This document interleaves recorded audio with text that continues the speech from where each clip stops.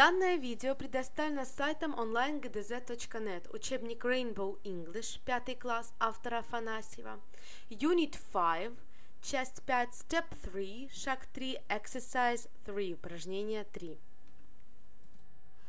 Work in pairs, ask and answer the questions.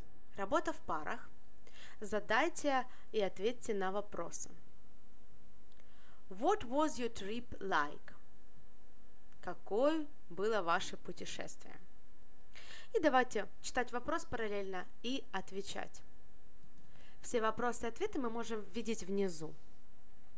It was wonderful. Это было замечательно. But the weather was fine, wasn't it? Но погода была хорошая, не так ли? Yes, it was. Да. It was sunny and hot. Было солнечно и жарко. You went there with your friends, didn't you? Вы ездили туда с друзьями, не так ли? No, I didn't. Нет, I went there with my parents. Я ездил туда с моими родителями. You enjoyed your trip, didn't you? Тебе понравилось путешествие, не так ли? Yes, да. Uh, you could do what you wanted, couldn't you? Ты мог делать то, что хотел, не так ли? Yes, I could. Да, я мог.